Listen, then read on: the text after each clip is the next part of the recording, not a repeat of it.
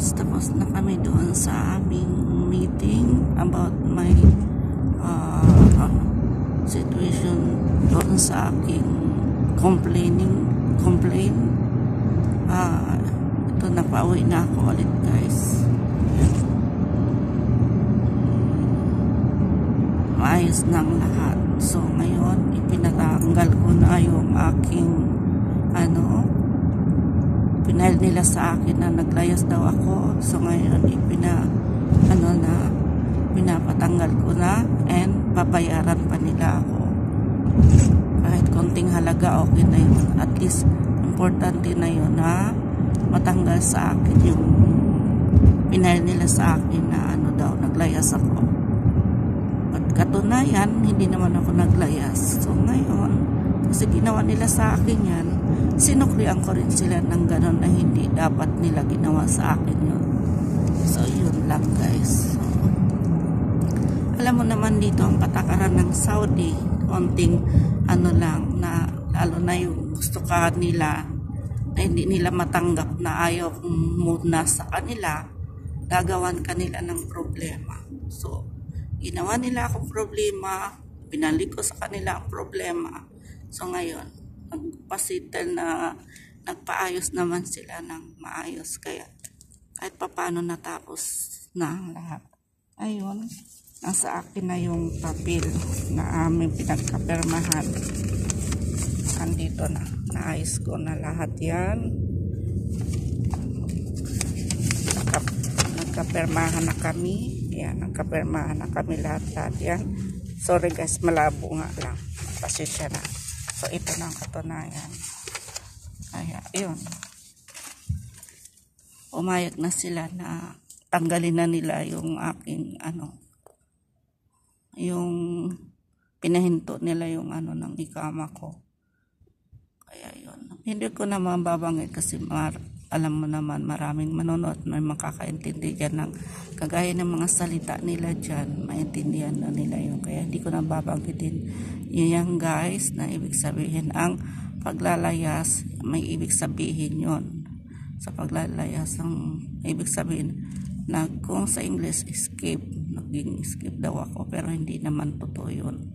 Kaya yan ang ginawa ko nagfile ako sa kanila ng gano'n. Yun guys So, maayos na ang lahat. Inshallah, inshallah. So, susunod na.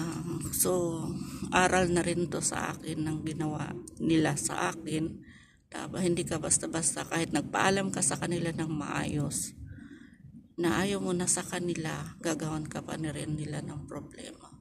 Abay, bago ako umas sa kanila, ah, maganda pa ang pagitungo nila sa akin, biso-biso pa sila lahat lahat ng mga kapatid niya. Pagdating ng mayroon na akong papasukan at may nag gusto na sa akin, papasok na ako sa salon. Yun na, nag, ano na sila sa akin. Gumawa na sila ng hakbang na ikasisira sa akin.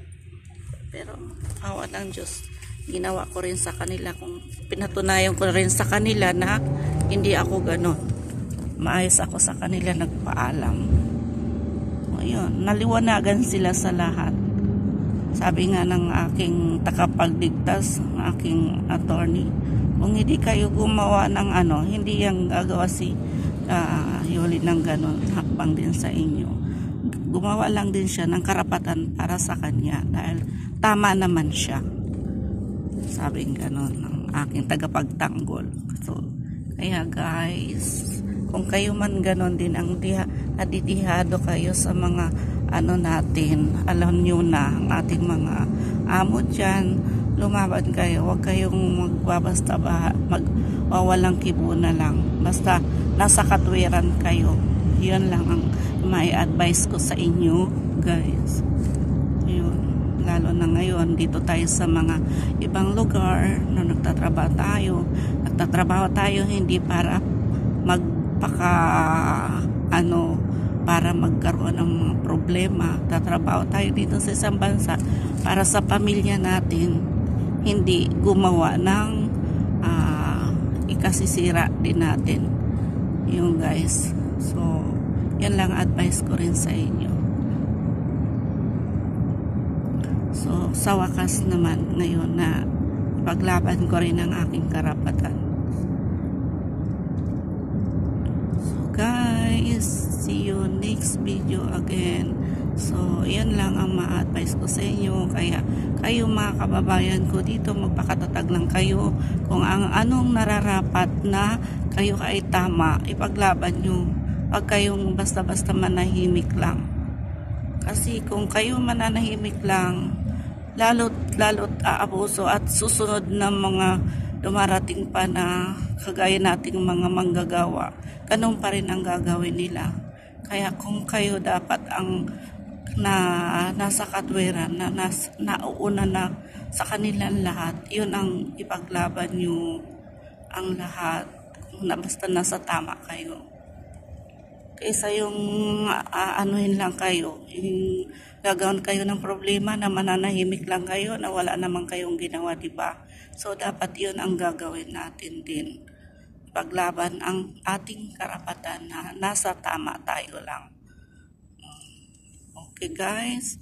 Okay, bye. See you next video again. Bye-bye.